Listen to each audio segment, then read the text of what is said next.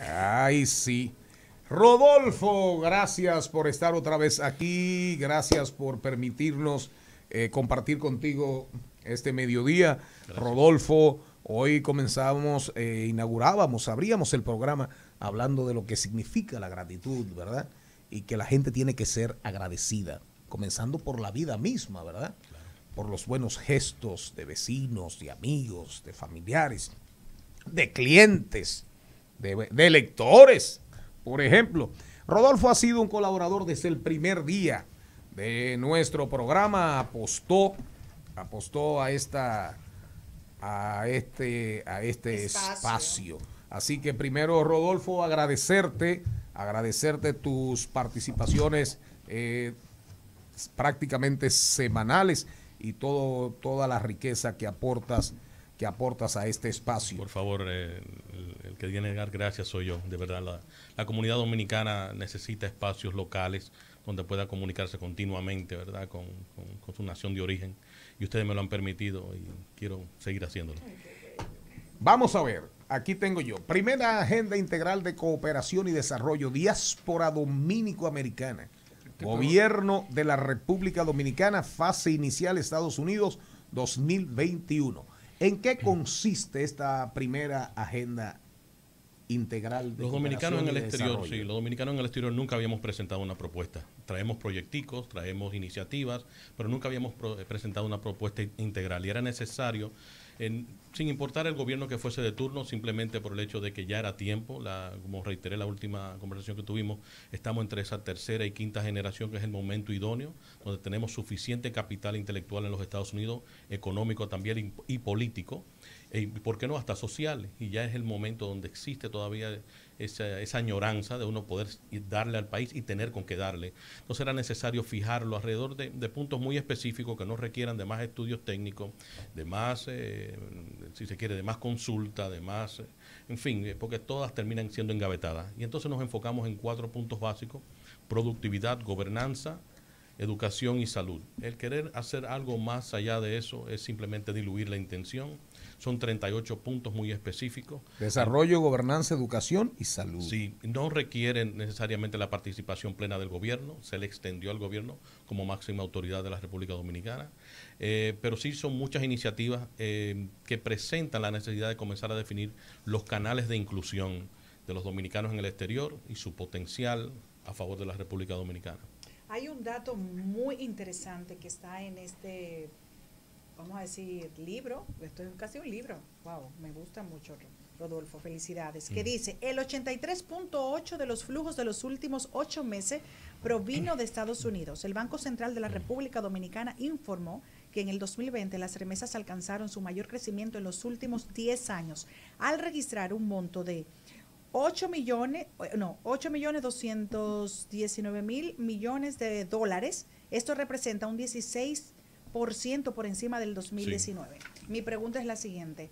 ¿Qué debe hacer la República Dominicana para seguir garantizando esto? Porque aquí hay unas estadísticas donde muestra que la mayoría, que el, que el 44% nacieron en la República Dominicana, pero hay un porcentaje que ya está, claro. que es lo que hablábamos el otro día de las sí. diferentes generaciones, que uh -huh. si no lo traemos, pues ya no le van a estar Pierden el vínculo. Porque su madre ya se claro, la llevaron. Claro. Eh, si, si, se casaron, se llevaron al esposo, entonces no van a tener ni Y estamos, ni llegando, al pico, estamos llegando al pico con las remesas. El, el, que crea que eso va a seguir hasta llegar a 20 mil millones de dólares. Eh, ya lo hemos dicho. Eso, eso, eso y eso, la tendencia ahora en el 22 es a disminuir. Así es, así es. Yo creo que ya llegamos a pico, incluso no se le puede pedir más.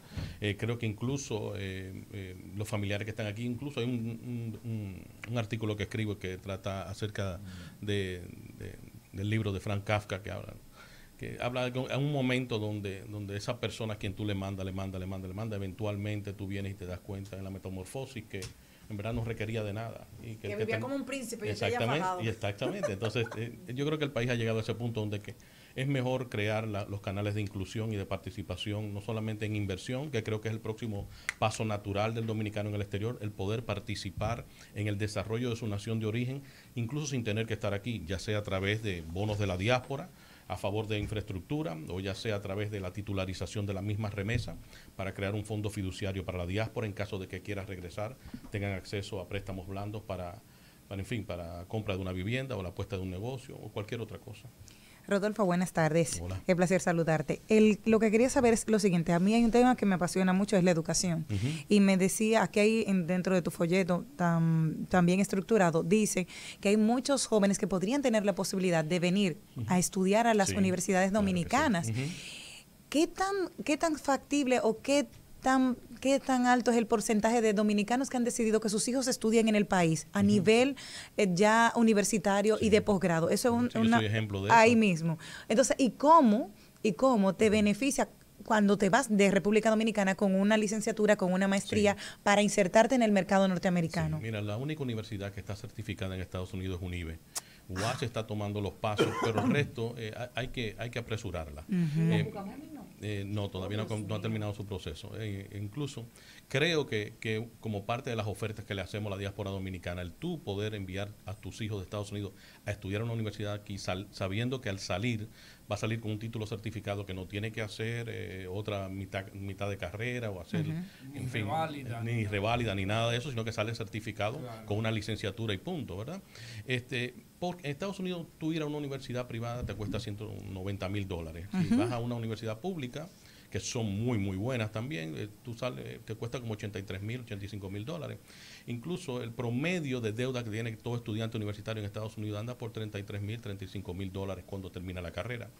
Muy bien, a través de un fondo fiduciario que sea destinado para la diáspora, no solamente podemos enviar a esos dominicanos que nacieron allá, ¿verdad? Que sus padres puedan enviarlos aquí a estudiar en una universidad certificada en Estados Unidos, sino que del mismo fondo pueda hasta tomar el préstamo para, para cubrirle la educación a, su hijo o a su hija. Rodolfo. Señor. Eh, indiscutiblemente que todo el tema de la diáspora eh, que se presenta hoy en día y más los enfoques que tú has hecho, yo le he venido dando seguimiento que son muy ricos y eh, muy plurales sobre todo hay que establecer que eh, el modelo político en República Dominicana constituye eh, un valladar que eh, necesita ser superado para poder llegar a establecer una relación plena de doble vía con la diáspora.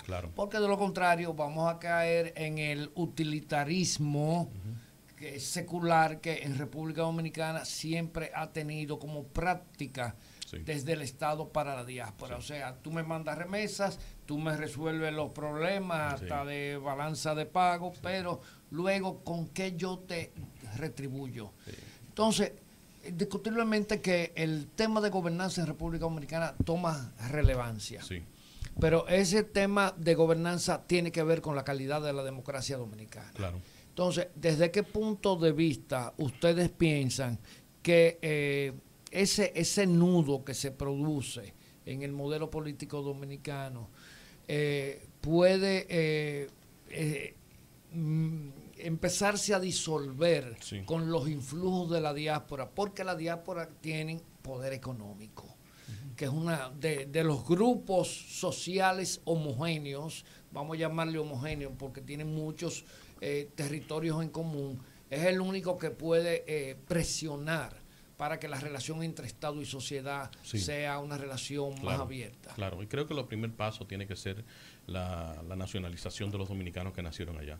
Países como Guatemala. La doble, la doble ciudadanía. Doble ciudadanía, pero eso tiene que ser inmediato. Eso es tu hijo naciendo el martes y el viernes tiene ya su, su, nacionalidad dominicana. No hay por qué agotar un proceso de dos, tres y cuatro meses. Burocrático. Excesivo, excesivo.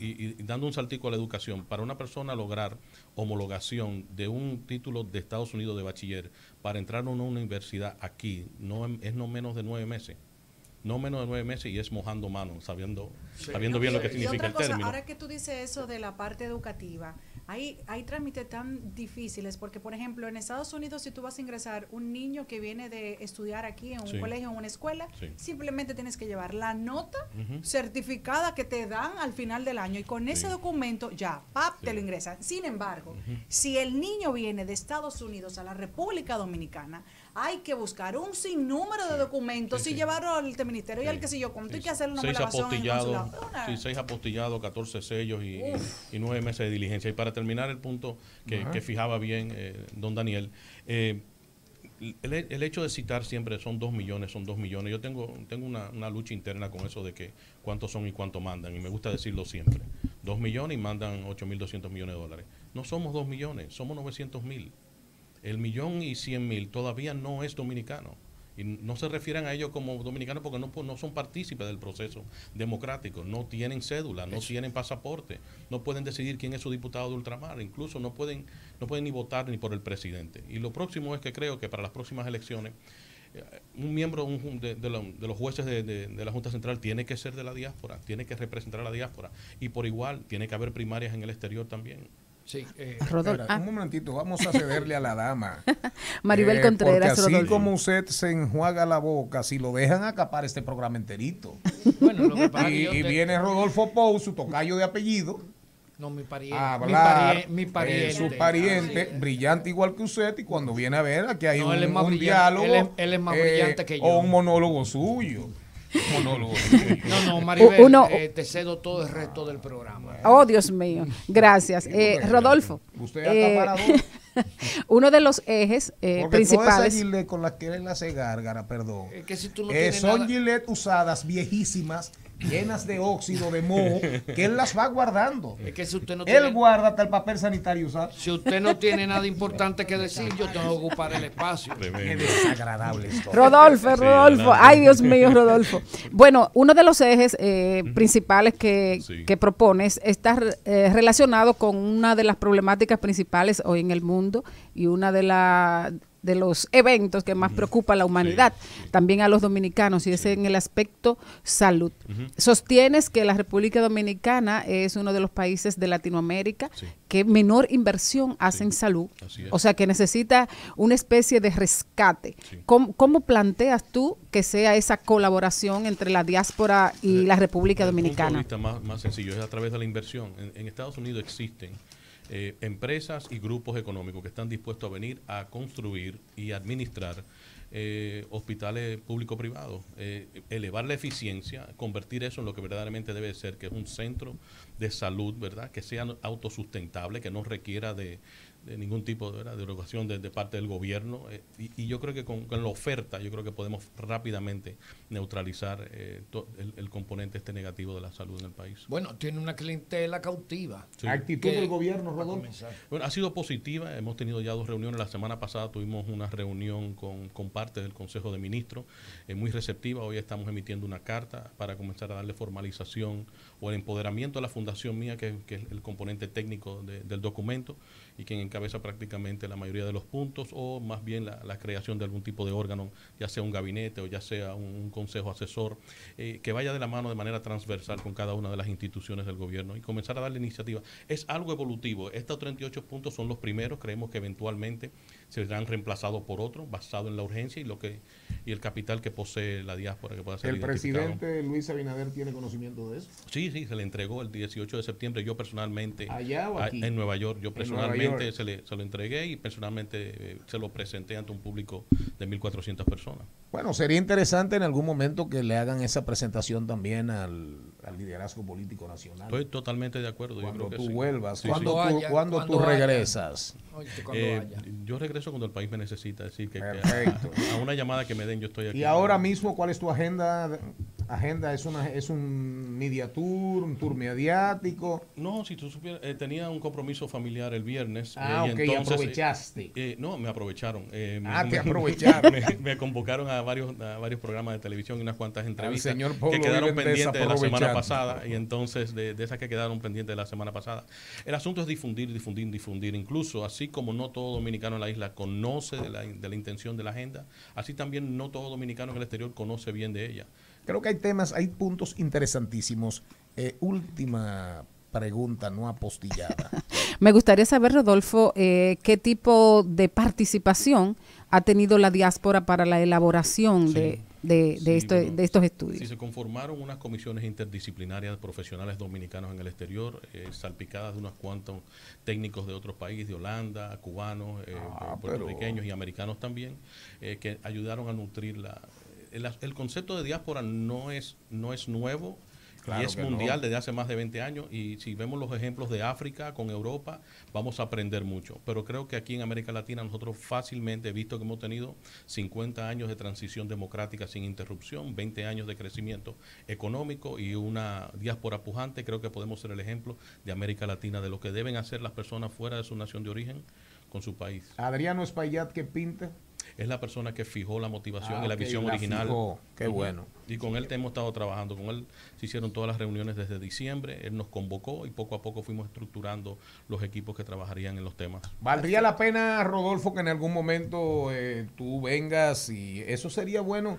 Te sugiero aquí en el aire que viabilices, eh, eventualmente te podemos colaborar en esto, eh, un encuentro con el CONEP, eh, Adriano puede ayudarte bastante en eso, con la, con la, ¿cómo se llama? Con Adozona, la Asociación Dominicana de Zonas Francas, con la misma Asociación de Industrias de la República Dominicana, con la Asociación de Empresarios de, la Región Norte, AIREN.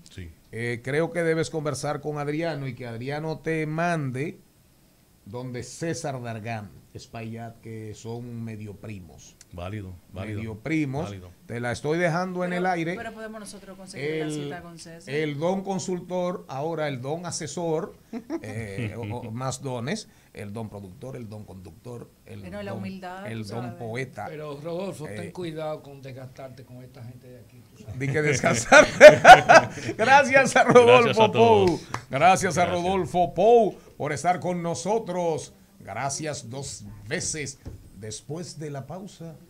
Salud y bienestar con Marlenín Fernández. Hoy venimos al, almibarados, azucarados, embiscochados, empanizados. Venimos a hablar de diabetes.